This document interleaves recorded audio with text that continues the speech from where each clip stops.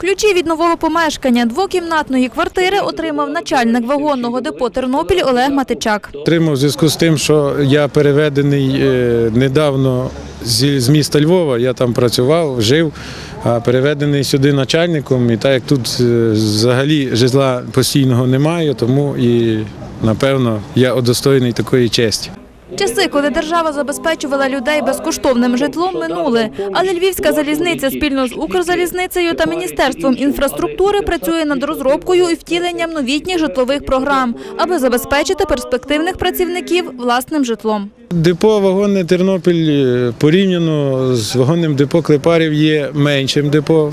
У Львові воно більш таке е, по об'ємах роботи, але тут своя специфіка і, звичайно, що треба бути на місці кожен день. Робота відповідальна, зв'язана напряму з рухом поїздів, з виконанням основних функцій залізниці, забезпечення клієнтури рухомим складом для навантаження, забезпечення безпеки руху поїздів, в тому числі і пасажирських.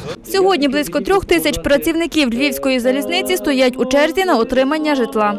От сьогодні ми здали в експлуатацію будинок, який переоб- переобладнали із технічного приміщення в житлове. Звичайно, він зараз е, вважається ніби гуртожиток, хоча ми бачимо, що це нормальні однокімнатні і двокімнатні квартири.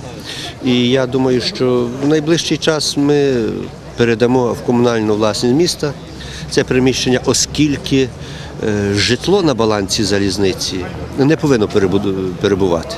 У будинку під час ремонту перепланували внутрішні приміщення, підвели воду, каналізацію, електрику, газ, встановили систему індивідуального опалення. Довкола будинку поклали бруківку та огородили. Вартість усіх робіт – 1 мільйон 100 тисяч гривень.